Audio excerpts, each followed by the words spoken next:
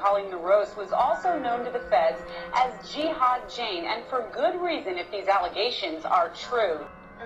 Al Qaeda and different terrorist organizations are targeting specifically the inner cities in the United States. They are recruiting from the African American community, from the Hispanic community. Agents were trying to arrest Lukman Amin Abdullah on firearm charges, seen here, screen right.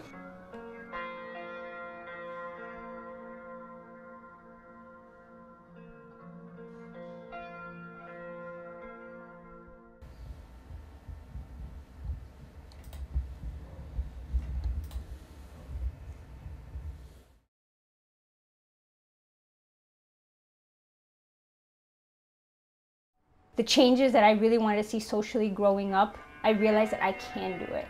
I, I always had this this hate for the way the society that I grew up in was. You know, I, I grew up not being able to wear black and any other color. Like growing up, I wouldn't be able to wear black and, and green because that's a gang color. And you know, now as a Muslim, you know, we could change that. I'm wearing it right now, and I'm not representing any sort of gang. It's it's just that I can I can try to, to help out my own community. And while I'm Muslim, also show people who have this bad image of Muslims, they can see that, hey, Muslims care about what's happening in our own community, not just what's happening overseas.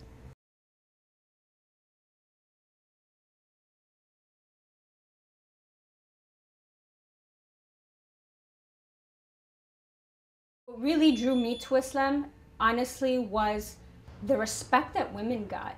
I noticed I carried myself in the same way as my Muslim friends, but I noticed they were respected at a completely different level that made me jealous.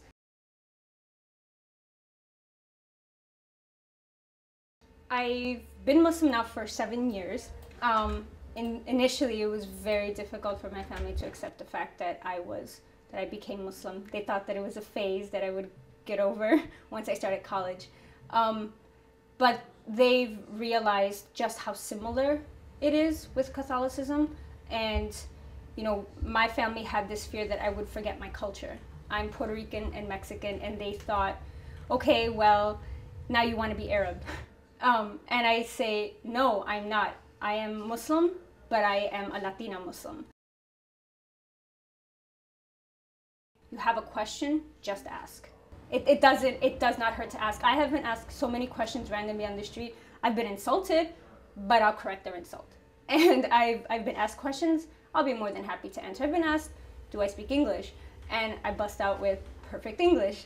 At least I'd, I'd hope so. Um, but it's honestly just really being open minded, not always believing what other people tell you or through hearsay, but really trying to experience it on a personal level and go out there and just meet other people.